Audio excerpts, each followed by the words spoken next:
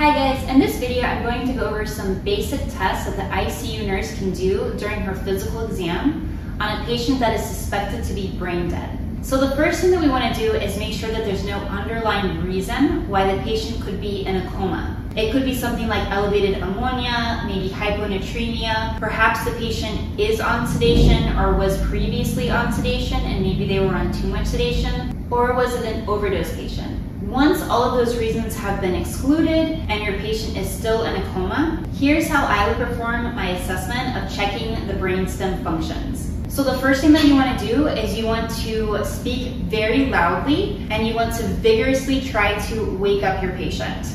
So let's say our patient's name is Bob. I would go in and I would say, Bob, Bob, hello, Bob.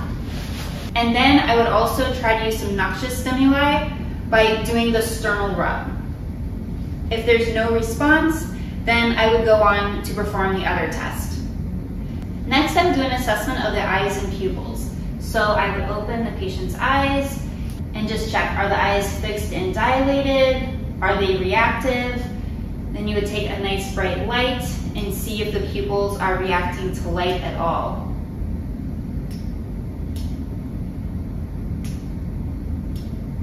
I also would do things like try to surprise them with like with like a visual threat. If there's no response to the noxious stimuli and no response to anything that I've done to the eyes yet, then I would go on to further check the eyes by taking a Q-tip and gently putting the Q-tip on the whites of the eyes to see if there's any response to that. In a normal person, there would definitely be a response. If there's no response, then that could be a sign of brain death.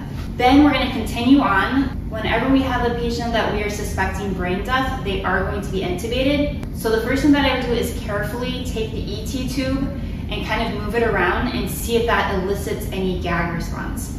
If there is no gag response with that, then I would take a tongue depressor and also go back in and try to elicit a gag response. I would also insert the tube to suction my patient to see if I can stimulate a cough.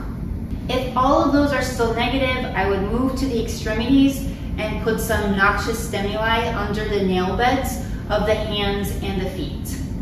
The last thing that I would look at is, is my patient breathing over the vent?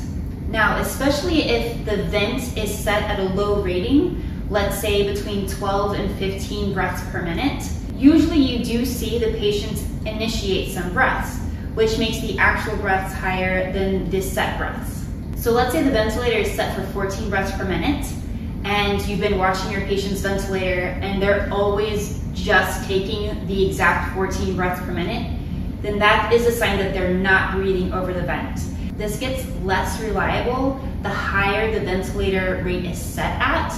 So if the ventilator rate is set at 16, it's not going to be as reliable as if it was set to 12. But it's just another thing that you can watch during your ICU nursing examination. All right guys, I hope you found that helpful. If you want to see more videos like this, please give it a thumbs up.